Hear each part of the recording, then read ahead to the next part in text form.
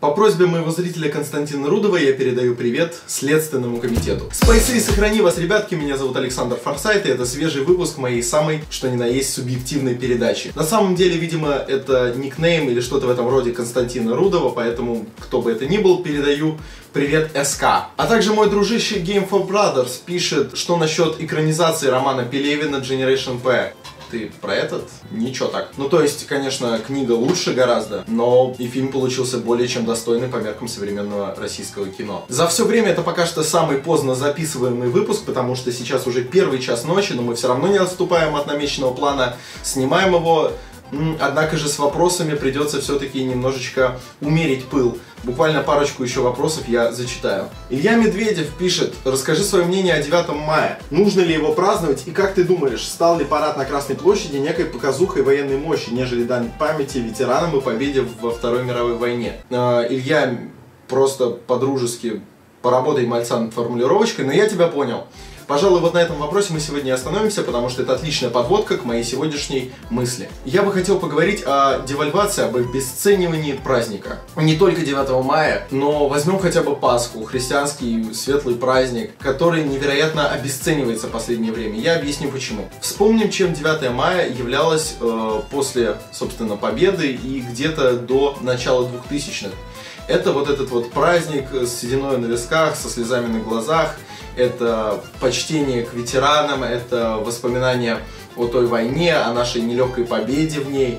Это действительно был праздник, а теперь это бренд. И если хоть как-то еще можно смириться с тем, что победа над гитлеровской Германией это бренд, еще как-то можно сказать, что какая нация не пытается возвести свою победу в статус пиар-проекта, Ладно, с этим мы можем как-то смириться, но вот посмотрите, Пасха. Христианский праздник э, это априори религиозная вещь, это не может становиться способом навара, прущим из всех щелей. Однако посмотрите, меня поразило, я пришел в супермаркет купить э, еды просто без всякой задней мысли, я даже не за куличами пришел. До Пасхи еще было где-то недели три, и я вижу бананы, производство что-то там Марокко или какая-нибудь другая Африка, и на них наклейка Светлой Пасхи. Серьезно, на бананах наклейка Светлой Пасхи.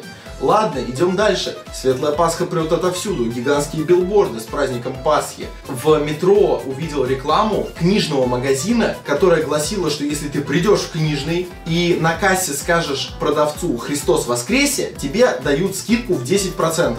Я клянусь, что я это видел. Могу сказать даже, где это был выход со станции Павелецкая. То есть вот эскалатор, вот плакат, скажи продавцу «Христос воскресе», ну кассиру, и получи скидку в 10%. 10%. Причем акции действуют с 1 по 30 апреля. То есть это весь месяц. И если даже не то, чтобы Христос еще не воскресе, Христа еще даже не распяли, а мы уже как бы такие, ну ты знаешь, как, все будет. Ага, ну братан, ну тогда вот тебе книжка со скидкой. Это же полный полный ужас. И это и есть оскорбление чувств верующих. Тот редкий случай, когда за него действительно лучше бы виновных, ну, если не покарать, но так, знаете, по-отечески перед миллионами по телевизору пожурить, потому что это игра на совершенно невероятном низком уровне. Еще я помню, по-моему, это была реклама то ли Оби, то ли Леруа Мерлен, то есть что-то вот такое вот для хозяйства дома, сада, огорода. Там была реклама унитазов, что, мол, унитазы со скидкой, фаянс, офигенные итальянские унитазы, а потом слоган «Низкие цены, вечные ценности». Но здесь я вообще рвался.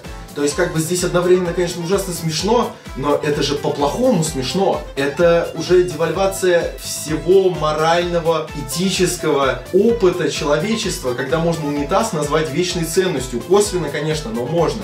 Вернемся к праздникам. Ладно, оставим Пасху в покое, оставим в покое Рождество, которое также муссируется в этих же сферах и в этих же смыслах. Вернемся к празднику Дня Победы. Я считаю, его отмечать надо. Я всегда радовался военному параду на Красной площади, потому что это действительно вызывает гордость за мою страну, за мой народ, который победил э, Великой Отечественной. Но мне не нравится вот именно рыночная составляющая этого праздника. Эти георгиевские ленточки, которые повязывают люди, которые даже не знают, кто командовал какой армией. Понимаете, когда знак победы повязывают э, люди, которые не читали в августе 44-го, не смотрели советские, настоящие советские фильмы про войну, ну, в большинстве их не знают э, такой фильм «Подвиг разведчика», им скажешь, у вас продается славянский шкаф, а они не понимают, о чем речь. Когда эти люди повязывают ленточки, вы понимаете, что это уже не имеет ничего общего с первоначальным смыслом праздника. На все ваши вопросы будут даны ответы, просто не сегодня, потому что записываем поздно, и во-вторых, в прошлом выпуске вроде как договорились. Так что до завтра. С вами был Александр Форсайт. Поделитесь этим видео с друзьями, может быть на канал подпишитесь. Спаси и сохрани.